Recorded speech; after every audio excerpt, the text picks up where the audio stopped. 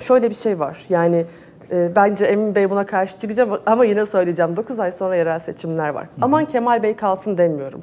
Biz kurultay sürecine başladığımızda yılların CHP'lisi olarak söylüyorum ki biz 9 ayın 6 ayını ilçe delegelerinin seçimi, ilçe başkanlarının seçimi, il başkanlarının seçimi, ardından işte bu kurultay delegelerinin parti meclisi seçimi vesaire. Yani biz 3 veya 6 aylık bir periyodu bunu ayırırsak yerel seçimler konusu unutulabilir.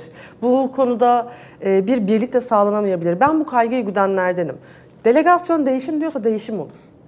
Hatta bu konuda bu hassasiyeti hem Sayın Genel Başkan hem de Sayın Genel Başkan adayları ki CHP'li herkesin hakkıdır yani böyle bir koltuğu arzulamak, istemek. Adayların olmasını da savunurum. Ama 9 aylık periyodu da planlamak zorundalar. Yani derhal kurultay olacaksa da planlamak zorundalar. Nasıl kırmadan dökmeden yaparız? E, bu ekipler nasıl çalışacak? Biz 9 ayı nasıl idare ederiz?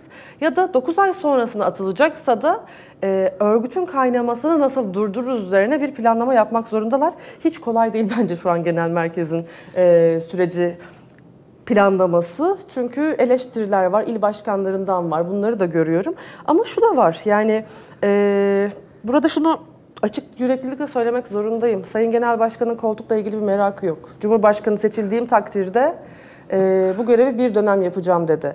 Bununla beraber Sayın Genel Başkan başarısızdır hikayesi anlatanlara ben yerel seçimler zaferini hatırlatmak zorundayım.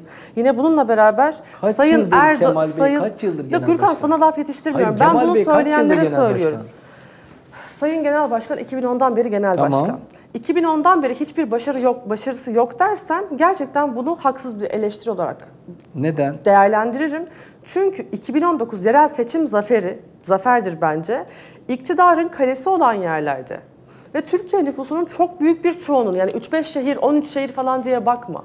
Türkiye'nin ekonomisinin döndüğü, nüfus yoğunluğunun olduğu, sanayinin olduğu, üniversitelerin olduğu bir yer. Buraları yönetmek kolay bir şey olmamakla birlikte 4,5 yıldır bir başarısızlık yaşanmaması da iyi bir hikaye. Ve CHP yönetiminde ilerleyen bir yeri sonuçta ya sadece Ekrem İmamoğlu kazandı, sadece Mansur Yavaş kazandı, sadece Tunç Soyer kazandı diye değil.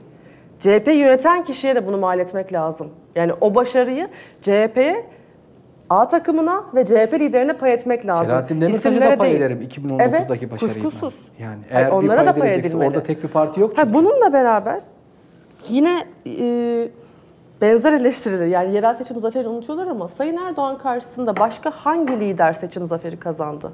Yani madem Bu yerel seçim övün CHP hayır için? hayır o zaman diğerleri de istifa etine getirmeye çalışıyorum. E, Yani zaten onu söylüyorum. hani ama burada anlatmaya çalıştığım hikaye 9 ay göz açıp kapayıncaya kadar geçer. Eğer CHP'nin kurultay delegeleri değişim diyorsa değişim olur. Kaldı ki bu kadar kritik bir süreçte delegasyon da ciddi anlamda değişecektir. Mevcut delegasyon kalmayacak. İl başkanlarının çoğu milletvekili olmak için istifa etti. Olanlar var, olmayanlar var. Şimdi tekrar kongre yarışına girecekler. Kendi ekiplerini getirmek isteyecekler. Yani biz hem ülke açısından hem CHP açısından büyük bir değişime gebeyiz. Ama e, CHP söz konusu olunca ben biraz haksızlığa da e, ses çıkarmak istedim. Çok Peki son son iki dakikamız teşekkür ediyorum. Ee, sizinle bitirelim istiyorum. şey son diyeceğim, iki dakikada. İpek Hanım. Evet. Ee, 2020 e, Covid salgını, sonra Rusya-Ukrayna savaşının enerji maliyetlerini fırlatması, sonra Tayyip Erdoğan'ın düşük faiz politikası ve enflasyonun fırlaması, sonra Kahramanmaraş depremi. Böyle bir konjonktürde Sayın Kılıçdaroğlu'nun kazanması gerekiyordu ama olmadı. Burada gerçekten CHP'nin bir öz eleştiri yapması lazım.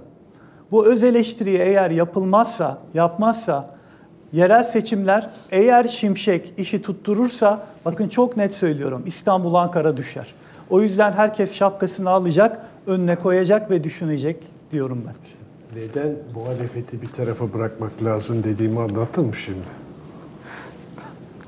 Muhalefet daha çok konuşacak. Şu anda Türkiye'nin meselelerinin dışına çıkmış, kendi içlerinden meşguller.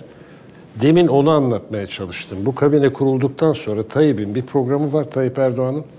Bunu yürütecek. Entegre bir şekilde durumuna hakim, yürüyüp gidecek. Düşer, kalkar bilemem ama bir programı var. Öbür taraftan burada muhalefeti el uzat, muhalefetin el uzatacak hali yok. Çok büyük Muhalefet ortada yok. Erdoğan'ı Bir sıkıştıracak toparlanması bir lazım. muhalefet yok. Hiçbir şey yok. Üzerinde baskı oluşturacak, basınç oluşturacak bir Hiçbir muhalefet şey yok. Ama Ve seçimler biteli bir hafta oldu. toparlansın. Çünkü Sadece şöyle- bir hafta oldu. Işık Biraz- yok şu an. Mesela o az önce bahsettiğimiz yeniliğe, değişime dair bir şey yok. Peki. Derhal istifa bekliyor Gürkan Onan. Neyse vakit var. Yok onu Yani söylemedim aslında. vakit Derhal var yani. istifade demedim ama verdiği sinyaller kötü. var. Gürkan Bey gençliğimiz var, enerjimiz var. Bakalım. Peki. Onun için sizler keşke mecliste olsaydınız. O meclisin haline baktığım zaman ben eski bir milletvekili olarak üzülüyorum. Sizler burada bu kadar gayret sarf edeceğinize sizleri meclise taşıması lazımdı o partinin. Peki değerli konuklarım çok teşekkür ediyorum katıldığınız ve kıymetli fikirlerinizi paylaştığınız için nokta atışının bugünlük de sonuna geldik. Pazartesi randevumuz 17.30'da. Hoşçakalın.